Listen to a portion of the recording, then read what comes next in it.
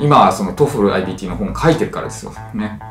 えー、なんで、えー、急遽ですね、変更しなきゃいけないことがいっぱい出てダミーがあった場合だと、この30分差があるっていうですね、えー、セスピーキングの中で最も簡単だったものが、えー、消滅してしまいます。のテストで最大分速というか、最大風速でボーンと出さなくても、それでちゃんと点が取れるっていうですね、えー、ものになるが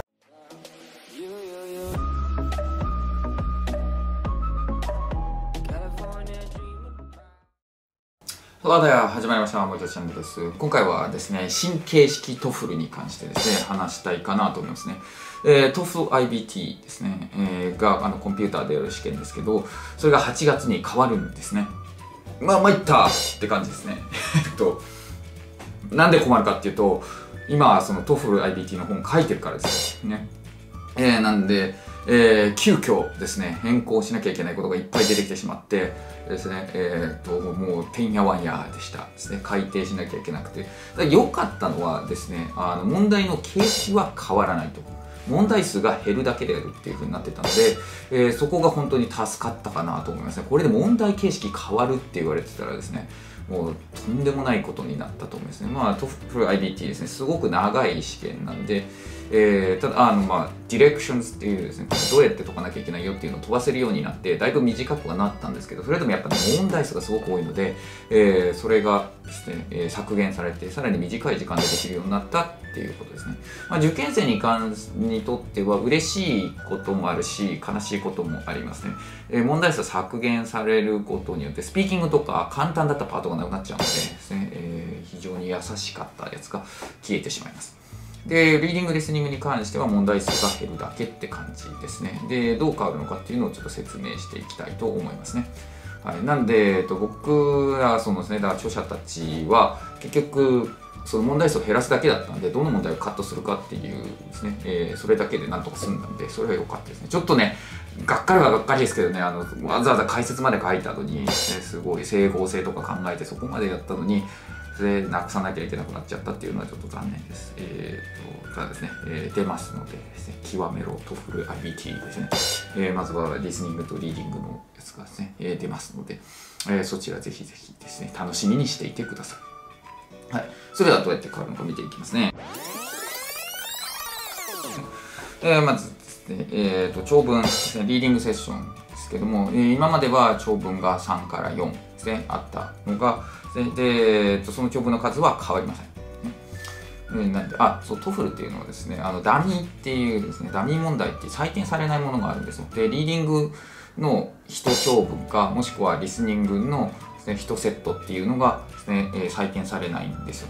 で、えー、リーディングのリーディングにダミーが入ってる場合は長文が4つになります。で今までは各長文にですね12台から14台ついてたんですよ、説問が。でそれが、えー、10問に削減されます。なので、えー、1つにも10って決まった状態なんで30問か40問解くことになります。ね40問解くときはダミーが10問入ってるっていうことになりますね。はい。で、えっと、時間がですね、今までですね、3台の時は60分ですね、4台、4セットの時は80分だったわけですが、それがですね、54分から72分というふうに変わります。ですね。え、つまり、えー、18分になるわけですね、1台に関してですね。という、そういった変更が起こります。えー、続いて、リスニングですね。えー、リスニングに関しては、セットがですね、えー、もう決まってたんですよ。のこの会話してるやつが1つ。で、えー、あとは講義が2つで3セットですね。で、この講義が2つあるんですけど、1つのセットには、ね、学生がしゃべりかけるというか先生と話す、えー、内容も出てくるよですね。質問したりとかそういうのも出てくるってやつだったんですが。でこれが、えー、ですねあってこの3問で1セットだったわけなんですよ。でのがこれ3つが1塊でそれが2セット出てくるかもしくはダミーがある場合は3セットですね。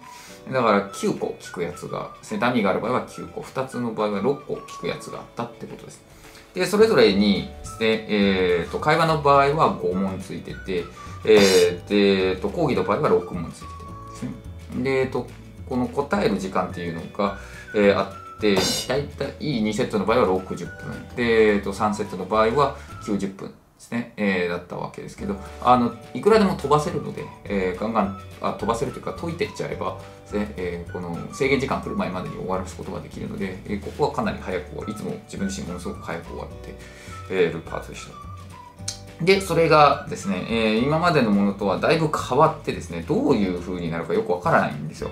ですね、えーと、講義の数っていうのが3から4つ出てきます。まあ、そして、えー、会話の数っていうのが2から3になりますよっていうことですね。で、えー、つまりまあ全体的に、えー、この講義の数が減るってことです。えー、講義のパターンの問題が減りますよということになります。で、各あの設問、それぞれの設問の数は変わらないですね。各6問、各5問ついている形になりますね。で、時間が、えー、大体41分から57分になるんですね。えー、だいぶ削減されますよね、これね。ダミーがあった場合だと、この30分差があるっていうですね。えー、かなり大きさになるんじゃないかなと思うんですけど、だいぶ短くなりますよね。これ、いいですね。はい。で、続いてですね、スピーキングですね。えー、スピーキングに関してはですね、えー、説問数が減ります。今までインディペンデントっていうのが2問あって、で、えっと、インテグレイレットっていうのは4問あったんですよ。で、20分ぐらいのものだったのが、えー、今度からはね、えー、全体の問題数がですね、6, セ6問あったのが4問に変わって、 independent が1題になります。ですね。えー、で、えー、さらに、えー、 integrated が3問になりますね。ただし、一番残念なのは、この integrated のなくなるのが、えー、ですね、大問のですね、5っていう、一番優しかったやつなんですよ。全体の中で。スピーキングの中で最も簡単だったものが、えー、消滅してしまいます。残念ですね。はい。スピーキングその integrated の説明しておきますね。 independent っていうのはただ設、設問が出てきて、ただそれに答えるだけです。意見を述べるだけです。それに対して integrated っていうのは、えー、聞いたり読んだりしないといけないんです。それに関してですね、話すっていうことです。で、なんで会話を聞いて答えですね、喋ったりとか、で、えー、講義を聞いて喋ったりするんですけど、その会話のやつ、会話を聞いて喋るですね、一番簡単なやつが削除されます。その問題がなくなります。残念すぎますね。あんなに簡単だったのに。まあ、ネタ切れ感はありましたけどね、同じパターンばっかりでしたからね。はい。え続いてライティングです。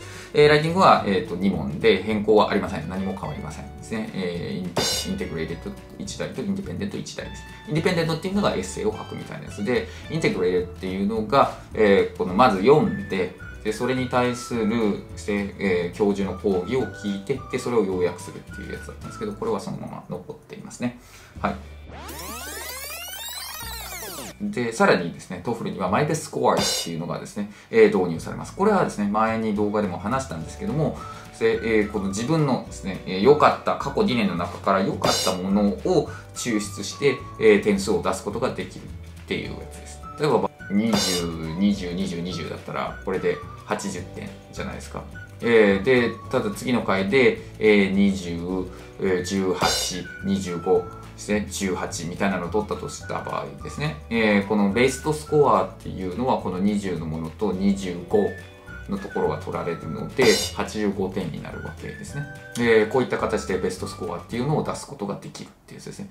えー、これをね、えー、OK してくれる大学が増えればですね、この1回のテストで最大分速というか、最大風速でボーンと出さなくても、それでちゃんと点が取れるっていうですね、えー、ものになるのが、ちゃんとですね、いい点、一番ベストの点を作ってくれて出願できるっていうですね、非常にいいシステムなので、えー、これがぜひぜひですね、受け入れてくれる大学が増えたらいいんじゃないかなと思います。はい。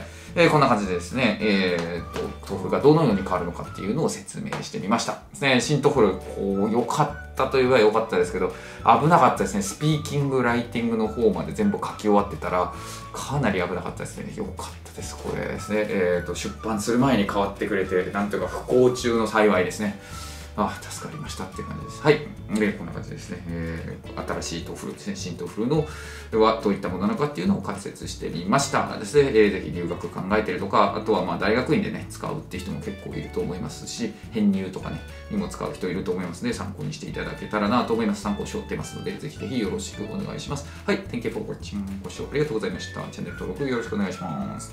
Be sure to give me a thumbs up and subscribe to my channel. See you next time. Take care.